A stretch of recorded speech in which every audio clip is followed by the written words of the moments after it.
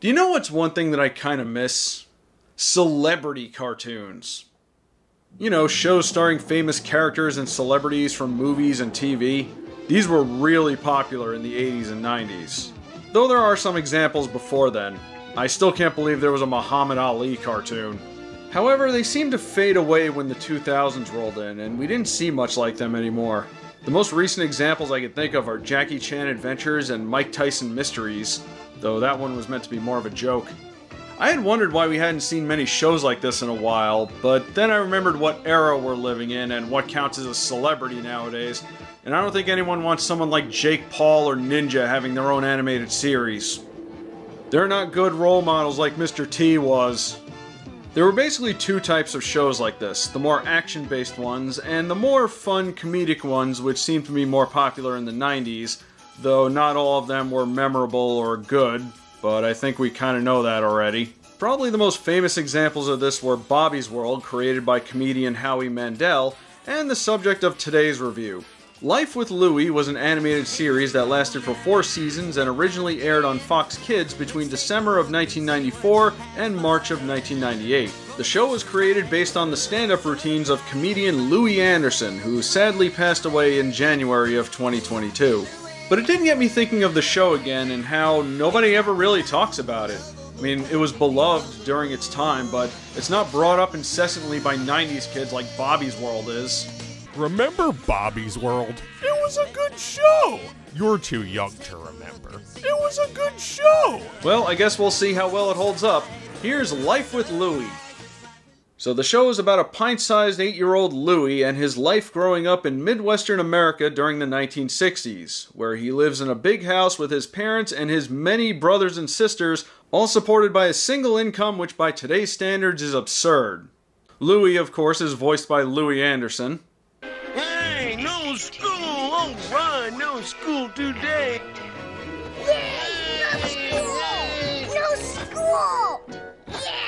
Yeah! No school! What are you so excited about? You don't even go to school.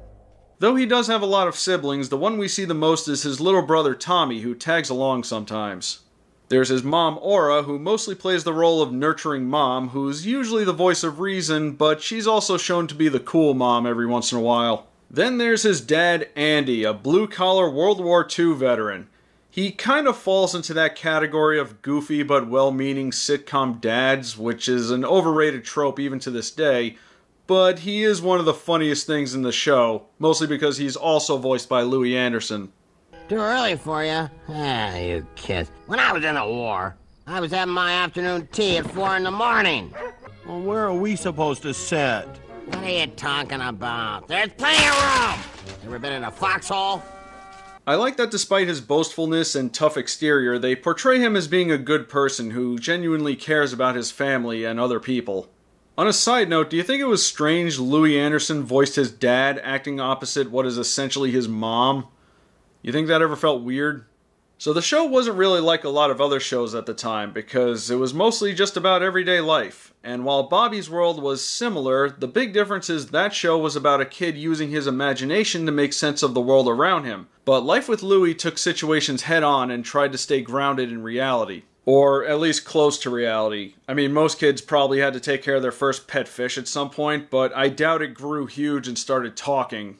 I'm hungry, Lou. Give me a jelly donut, would you, Lou? I'm wasting away here, And if it did, you need to seek help. But mostly it was about those fun, typical childhood tropes that I think most kids can relate to, such as family road trips, getting excited for a snow day, getting excited for summer break, being scared of getting a shot at the doctors, being scared of the basement, getting bullied because you were the fat kid, being awkward in gym class because you were the fat kid, not telling the girl you like how you feel about her because maybe you don't think you deserve her because you were the fat kid. What, what are you coming back to me for? I, I don't know anything about any of that, okay? Get back to the show! The show really does capture a lot of aspects of childhood, like having passive creative interests like music, filmmaking, and there's even an episode where Louie has interest in becoming a stand up comic, which is very meta. All that was missing was Louie wanting to take martial arts or something. Though I did find it funny we didn't see much of Louie's other siblings. They don't even eat dinner together, and when they're on screen, their faces are covered sometimes, and sometimes they're not. Why though? They're also kind of jerks to Louie. In one episode, their mom gets sick, and Louie was left to take care of the house by himself. Hey, Laura, you know how to make eggs? Uh, How should I know? Ask Mom. She's sleeping. I just need to know how to make a couple of eggs. Hey, do I look like a chicken to you? Twerp. Danny, look what you did! Sorry, kid. Hey, mom needs her lunch now. Why don't you make it? I'm a little busy here. Because I've got a baseball game, Squirt. My teammates need me. Hey, Shorty. Mom needs some tissue. Well, why don't you get it for her, Carol? I'm working on my Mother's Day gift. I know a present she might like. Really? What?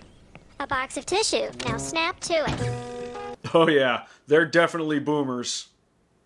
On a more technical level, the show looked good overall and had some good animation. I also like that the characters were seen wearing different clothes. Sometimes it would just be a change in color, and ultimately it doesn't really affect anything, but it's a nice detail you don't often see in cartoons. Though some of the voices were not great. Not any of the main cast, but some of the incidental characters sounded very phoned in. Hey, congratulations. Thanks. But I don't know how I'm ever gonna tell my dad I don't want to play pro ball. You don't? No, I want to be a flutist. Eh, no need to do another take. That was perfect.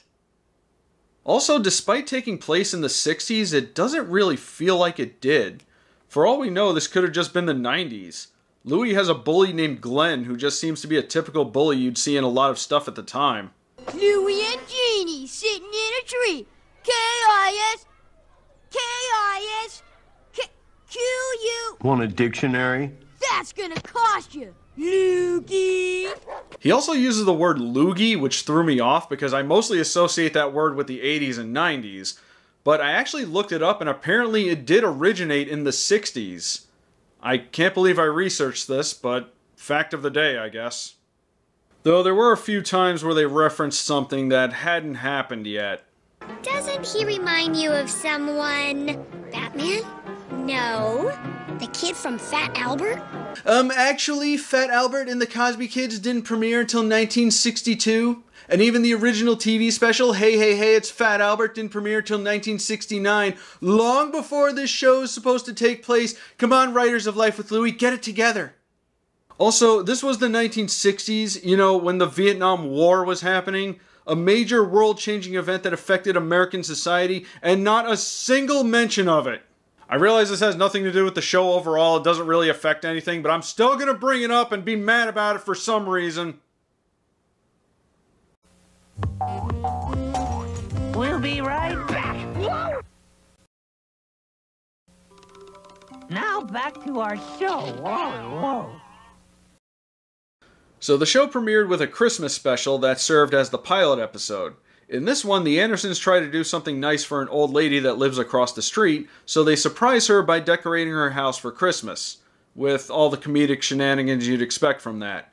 But then they find out why her house wasn't decorated.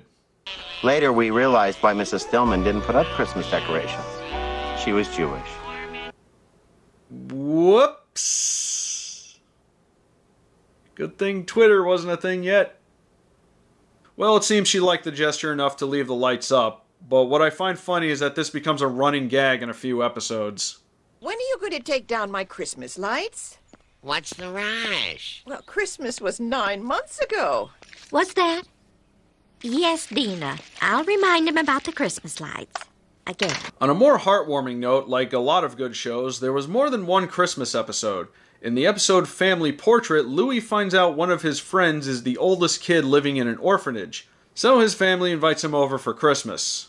Yeah, there's a lot of nice, wholesome stuff in this show. In the episode Dad Gets Canned, Andy loses his job and the family has to do what they can to get by. Hey, Anderson, you selling that junk heap for parts? Hold me back, Louie. starting no flip. I'm going back to Normandy.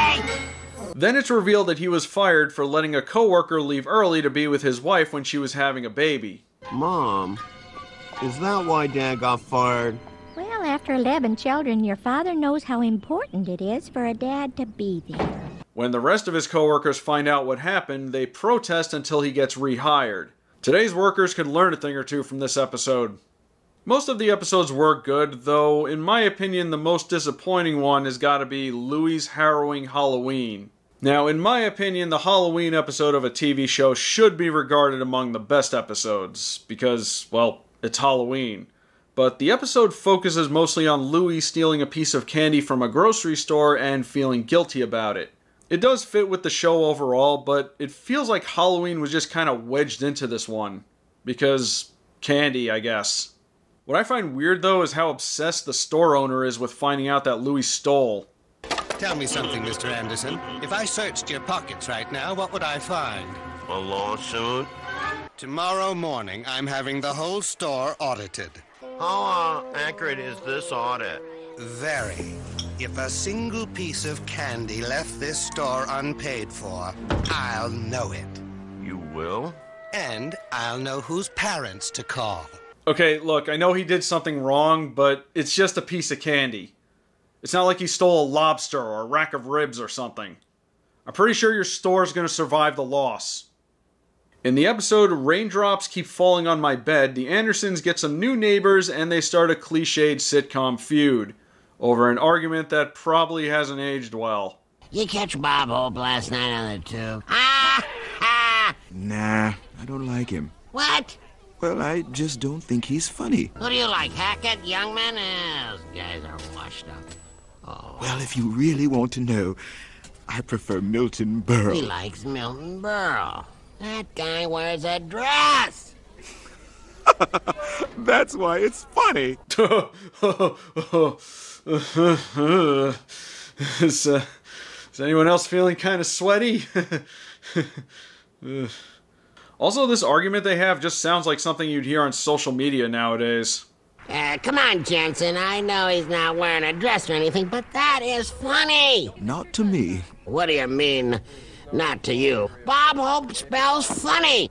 It just doesn't appeal to me. What? What do you know? You pathologists, you're all the same. No sense of humor. Ugh, Bob Hope stands. You know, it's amazing how everything has changed and yet nothing has changed. So, anyway, Andy decides to build a wall around their house. You know, the rational thing to do. But then the town gets flooded and the wall keeps out the water, so the other neighbors have to take refuge there. They got flooded out of their house, and I invited them to come and stay with us. What do I look like, Noah? Okay, I don't know why, but that line, when I first heard it as a kid watching the show, it nearly killed me. Like, I was cracking up. I was on the floor laughing. I must have been something in the delivery, but at the time it was like the funniest thing I'd ever heard in my life. Well, despite some more shenanigans and Andy's protests, needless to say, things work out in the end. In the episode For Pete's Sake, Louie befriends a homeless man who starts taking advantage of his kindness. But then we start to learn about how he lost his job and his family and eventually wound up on the street. Twelve years I worked there, and then the company cut back. I lost my job, hit the street, and interviewed for every job I could find. After all, I had a family to support. So, what happened? A whole lot of rejection. So I stopped looking. I lost my house, I lost my savings, lost my family. This show did get very real and heavy a lot of times, which brings us to the episode that I and probably a lot of people who watch this show remember most the thank you note. In this episode, Louie gets a sweater from his grandma, which he doesn't really like very much, but his mother insists that he send her a thank you note anyway.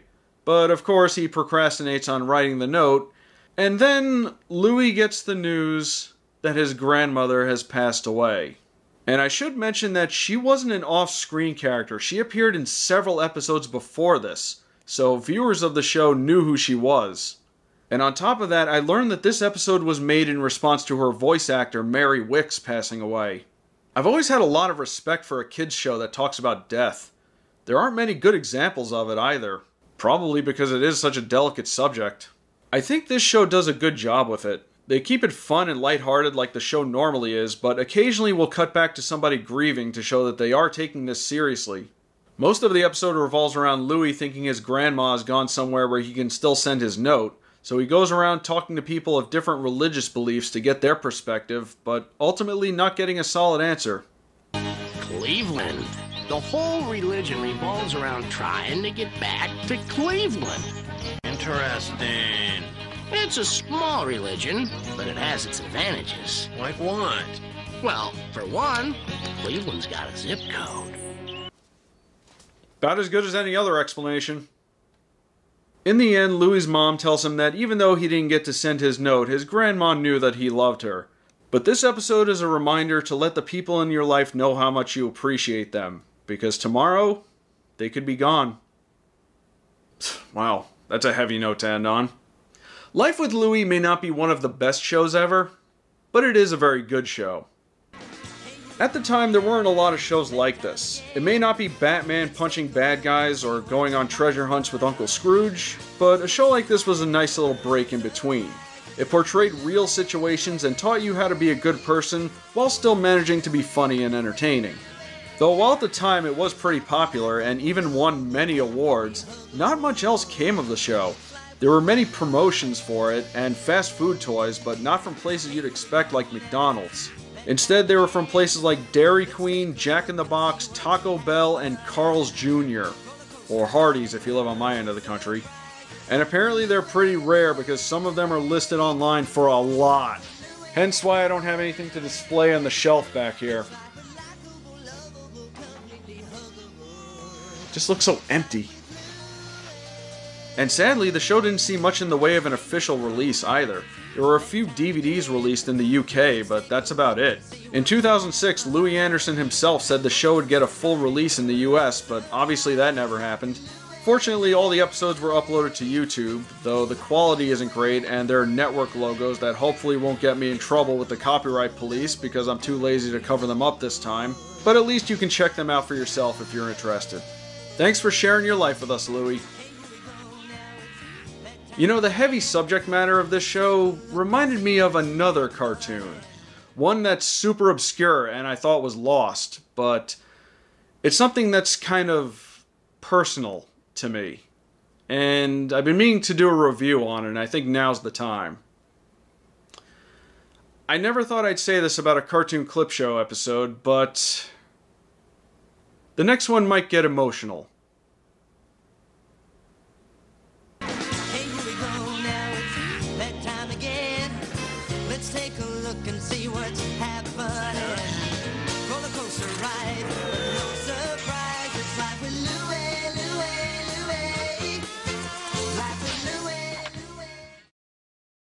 You know what to do, don't you, Dad? Oh, yeah, I know just what to do. All right, campers, rise and shine. Pack your stuff, hit the road. This ark's going down. Say goodbye to Noah.